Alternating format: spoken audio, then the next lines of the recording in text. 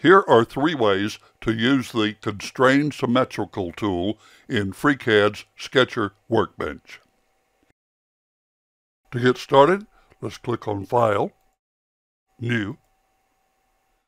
Now let's go to the Part Workbench, Part Design Workbench, that is, right here. Click here to go to the Sketch mode. Select the XY plane. Click OK. Now get your line tool right here, create line, and draw a diagonal line.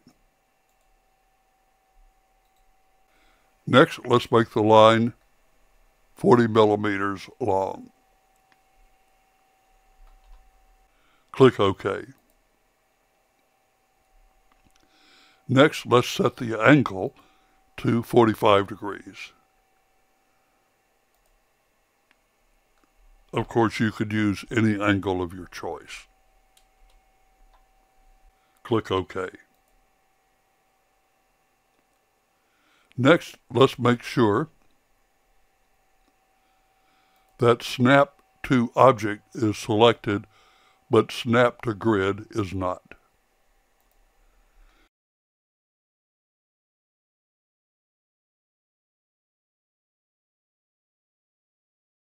Now let's come over here, click on the Create Point tool, and let's put that point on the line at an arbitrary position. Right click. Now click the two endpoints on the line and this arbitrary point that we put on the line and then use the constrain symmetrical tool to move that arbitrary point to the center of the line. Next, select the arbitrary point which is now located at the center of the line and click the intersection of the horizontal and vertical axis. And we're going to use the constrain horizontal distance tool and we're going to set that to zero and this will move the diagonal line such that the center is located on the vertical axis. Now we can, if we wish, click on this zero dimension here, this constraint, and delete it if we like. To set the vertical distance, for this diagonal line. Choose any point you like. For instance, we could choose this left endpoint. Choose the intersection of the horizontal and vertical axis. Click on this tool, the Constrain Vertical Distance tool, and set that distance to whatever you desire. In this example, we'll use 5 millimeters.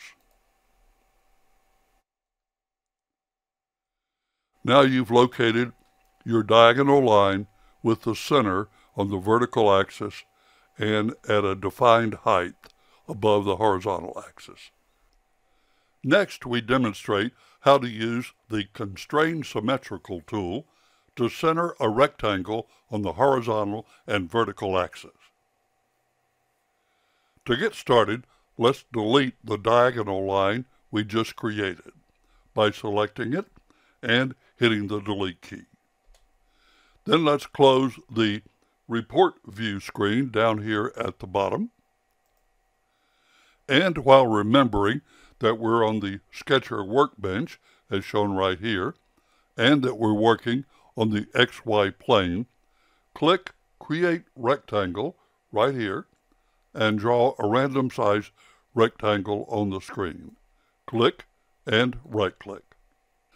Now note, if we try to use the Constrain Symmetrical tool now by clicking the top two points on the rectangle and then clicking the vertical axis and then clicking the Constrain Symmetrical tool, we get an error. This is due to redundant constraints. So let's close the report view window and hit Control Z and try this again. So to avoid this error, click right here and click Auto Remove Redundants. Now let's try again to center the rectangle on the vertical axis. First, click the top two points on the rectangle. Then click the vertical axis. Then click the Constrain Symmetrical tool. And kaboom, we have the rectangle centered horizontally on the vertical axis. Now let's center the rectangle on the horizontal axis. First, click the two points on either the left or right side of the rectangle. We're choosing the left. Then click the horizontal axis. And then click the Constrain Symmetrical tool.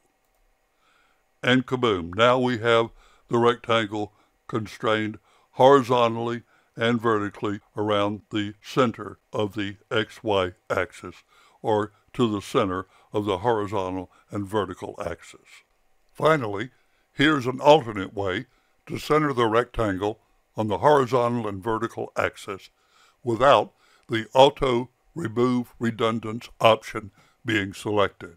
First, let's uncheck the option by clicking here and then clicking here. Next, let's delete our current rectangle and create a new one on the XY plane. We select the current rectangle, hit delete. We get the rectangle tool here, draw a random rectangle here, click and right click. Now let's tell FreeCAD what size we want the rectangle to be. To do that, we click the top line and click this tool right here, the constrained distance, and let's make it 40 millimeters. And then let's click the side here, and let's make it 40 millimeters.